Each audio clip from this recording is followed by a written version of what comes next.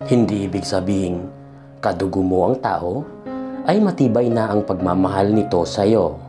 Sa kwentong ito ay matutunghayan natin na hindi mo kailangan na maging magkadugo kayo para mapadama mo sa isang tao ang pagmamahal mo. Kwento ng isang babaeng hindi nagkaroon ng pagkakataong magkaroon ng sariling anak, ngunit nabiyayaan naman nang magkaroon siya ng pagkakataong na makapag-ampon na kung saan ay ginawa niya ang lahat, maprotektahan lang at maibigay ang pagmamahal ng isang tunay na ina sa anak-anakan nito. Mga ka-explorers, kwentong may aral ulit para sa inyo. At baka hindi ka pa nakasubscribe sa ating munting channel. Subscribe ka na rin po para kumita rin tayo. Thank you. Sa limang taong pagsasama ni Liam at Isa, ay hirap ang mga itong makabuo ng magiging anak nila. Ilang beses na rin silang pabalik-balik sa espesyalista para matulungan silang makabuo man lamang. Wala namang baog sa kanilang dalawa at ang tanging problema lang nila ay ang konting similyang nabubuo nilang dalawa. Isa na rin sigurong dahilan sa kanilang problema ay ang pagiging busy nila sa pagmamanage ng kanilang negosyo.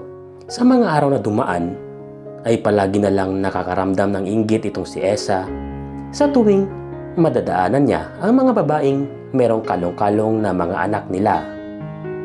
Wala ding magawa ito si Liam, kundi pagmasdan na lang nang may halong lungkot ang asawa nito. Isang gabi, nang matutulog na ang mag-asawa, ay nag-isip ng magandang gawin itong si Liam. At naisipan niyang bumisita sa baryo nila Isa para sana maghanap ng kapamilya nilang pwedeng ampunin.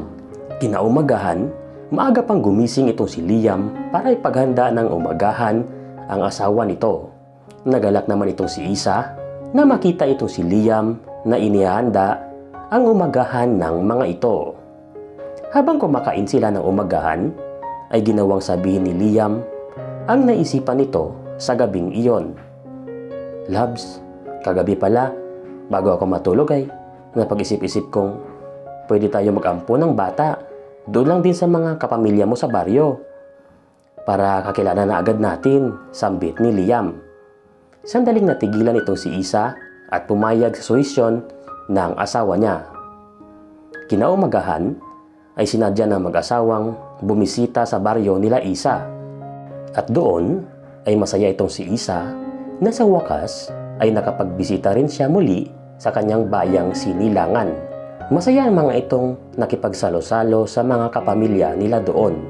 At bago matapos ang kainan nila'y, bigla na lang napatanong sa kanila itong tiya ni Isa. Pamangkin, kung di mo mamasamain, matanong ko lang sana, bakit hanggang ngayon, hindi pa rin kayo gumagawa ng sarili niyong anak? Wala naman na kayong problema sa pira siguro. At kayang-kaya niyo naman ang mga gastusing panigurado yan, sambit ng kanyang tiyahin. Yan nga po sana ang lakad namin ni Liam dito sa baryo tita. Maghanap po sana kami ng batang maampon para kahit papaano ay may maalagaan rin ako habang nagmimedikasyon. Tugon naman ni Isa. Baka po may alam kayo tita o kakilala na pwede kaming makapagampon. Dagdag pa ni Liam. Napaisip itong tita nilang dalawa sa kanilang mga sinabi. Kapag sa ngayon ay wala tayong mahanap, hayaan nyo at magtatanong-tanong ako dito sa palibot. At kapag may makita ako ay agad ko kayong tatawagan saad ng tita Rita nila. Umuwing luhaan itong mag-asawa dahil sa wala silang nakuhang pwede nilang ampunin. Ngunit tinayaan na lang nila iyon at inisip na lang ng mag-asawa na baka may plano ang Panginoon para sa kanila. Sa tatlong buwang lumipas ay panay ang post nitong si Isa sa kanyang social media sa pag-asang baka merong magpaampon sa kanya ng anak nila. Isang araw nga, habang papalabas ng bahay nila itong si Isa, ay di niya lubos akalain ang kanyang makikita. Nang bumungad sa kanyang harapan ang isang sanggol. Ginawang kusutin itong si Isa ang mga mata nito dahil baka nananaginip lang siya sa mga sandaling yon.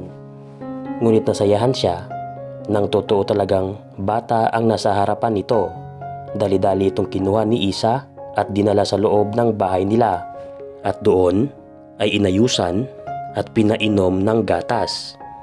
Labis ang sayang nadarama ni Isa sa mga sandaling yon dahil sa biyayang dumating sa buhay nito.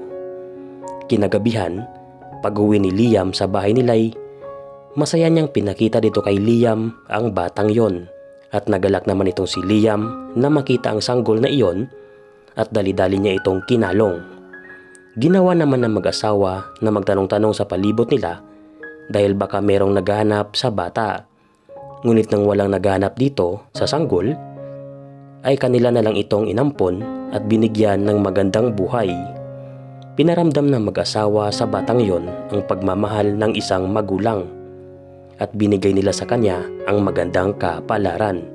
Pinangalanan nila ito siyang Lisa, hango sa pangalan ng mag-asawa. Sa pagdalaga ni Lisa ay hindi may iwasang magtanong-tanong ito siya dahil sa iba ang kulay niya kumpara sa kanyang mga magulang. Napagdesisyonan naman ni Liam at Isa na ibunyag na sa anak nila ang katotohanan dahil sa nasasaktong gulang naman na siya para malaman ito. Kinagabihan, sa kanilang hapunan ay doon na binunyag ni Isa ang katotohanan sa anak nito. Isa anak, may sasabihin sana kami ng papa mo. Nag-aalang ang sambit ni Isa. Ano po yun ma? Tugon naman nitong si Lisa. Anak, may aminin sana kami ng papa mo sa'yo. Huwag ka sanang mapibigla anak. At kahit anong mangyari anak ay palagi mong tatandaan na mahal na mahal ka namin ng papa mo. At ikaw lang ang unikaihan namin. Lisa anak, hindi ka namin totoong anak. Isang araw ay nakita kita sa harap ng bahay namin. At yun ay isang biyaya sa amin ng papa mo. Kasi sa mga panahong yun ay inaasam-asam naming magkaroon ng sarili naming anak. At ikaw nga ang binigay niya sa amin. Mangiyak-ngiyak na sambit ni Isa. Marami pang sinabi itong si Isa sa anak nito para hindi nito isiping hindi siya mahalaga sa kanila. Sa narinig naman ni Lisa na isiniwalat sa kanya ng mga magulang niya ay bahagya ito siyang nalungkot. Ngunit matagal na rin naman pala niyang ramdam na hindi talaga siya totoong anak nitong si Liam at Isa. Kaya hindi siya masyadong nagulat sa isiniwalat sa kanya ng kanyang ama't ina. Okay ka lang ba anak? Sambit naman ni Liam. Okay lang po ako pa, ma. Nang marinig ng mag-asawa ang binigkas ni Lisa, ay dali-dali nila ito siyang niyakap ng maigpit. Sabay bigkas ng mga katagang, mahal na mahal ka namin anak. Matapos ang revelasyon na iyon, ay mas tumibay pa ang kanilang pagsasama at pagmamahalan. At mas pinaramdam ng mag-asawa sa anak nila ang tunay na pagmamahal. Isang araw, ginawang bisitahin ni Lisa ang anak nito sa kanyang school. At nang papasok na ito siya sa kwarto ng anak niya ay nagulantang itong si Lisa sa kanyang narinig. Nang pinagkakaisahan pala ng ibang kaklase niya itong anak nila at pinagtatawanan. Dala ng galit itong si Isa ay agad siyang pumasok sa kwarto na iyon at pinagsabihan ang mga batang nangahamak sa anak niya. Sa tingin niyo ba ay tama yung ginagawa niyo? Tama bang lait-laitin at pagtawanan niyo ang isang tao dahil kakaiba ang itsura nito? Ganyan ba ang pagpapalaki sa inyo ng mga magulang niyo? Pag maulit pa tong ginagawa niyo sa anak ko ay titiyakin kong pagsisisihan niyo iyon. Galit na sambit ni Isa habang nakatitig ng matalim sa mga kaklase ng anak niya. Natahimik ang lahat sa mga sandaling yon at napahiya sa mga sinabi ni Isa sa kanila. At simula sa araw na yon ay wala nang naglakas loob na hamakin itong si Lisa. At ginawa na siyang igalang ng mga kaklase nito. Mga ka-explorers, walang magandang maidudulot kung pagtatawanan natin ang isang taong ulila. Mas magandang gawin natin ay ipadama natin sa kanila ang kung anong pakiramdam ng minamahal at ginagalang.